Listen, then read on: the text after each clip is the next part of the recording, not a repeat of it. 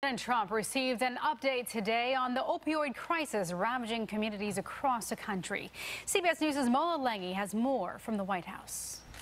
While on his working vacation in Bedminster, New Jersey, President Trump was briefed about the opioid crisis by Health and Human Services Secretary Tom Price. Nobody is safe from this epidemic that threatens young and old, rich and poor, urban and rural communities. Everybody is threatened.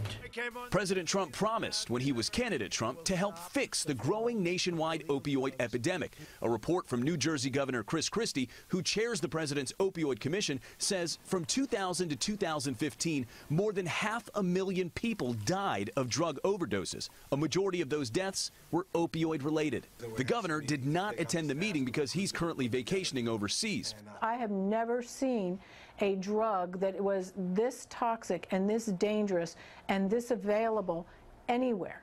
Uh, in my in my entire career. Deborah Taylor has more than 40 years of experience treating addiction at Phoenix House, a nonprofit drug rehab center with 50 facilities nationwide. I don't know how you stop it when there is a demand, um, and there is a demand. The White House's approach to fixing the opioid problem extends beyond prevention and treatment to criminal prosecution. Attorney General Jeff Sessions recently announced the creation of the Opioid Fraud Abuse and Detection Unit that will use data analytics to find doctors who are overprescribing opioids for profit.